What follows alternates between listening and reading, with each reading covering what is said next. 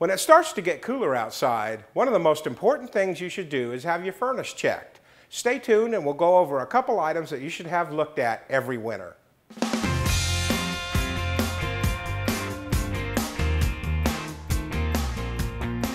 Before you use your furnace for the first time in the winter, a heating contractor should thoroughly check the unit and make sure it's operating properly.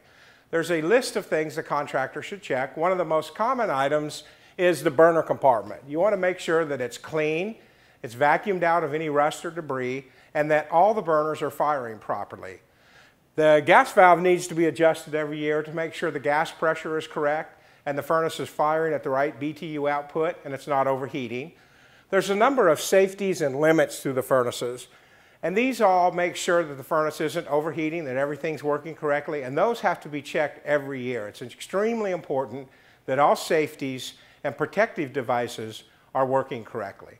One of the most important things you want to have your heating contractor check is to make sure your furnace is drafting properly.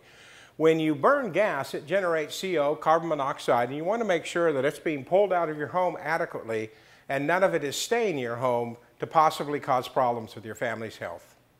Of course, the filter needs to be changed, the blower compartment should be cleaned, the blower wheel cleaned, and then they check what's called the temperature rise on the furnace. That's the difference between the air that's coming in from the return or intake and the air leaving. You want to make sure that it's adjusted to the manufacturer's specifications and that will make sure the furnace is not operating too hot or not giving out the heat that it can.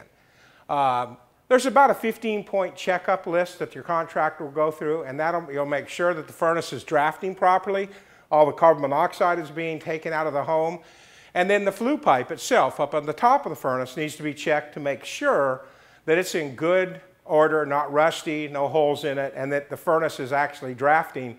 There can be sticks or stems or animals can build a nest in the chimney, stopping it from drafting, and any of those items can affect the health and safety of your home.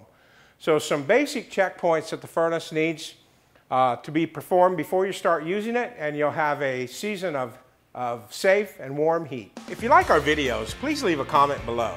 And for a new home care video every week, subscribe to our YouTube channel.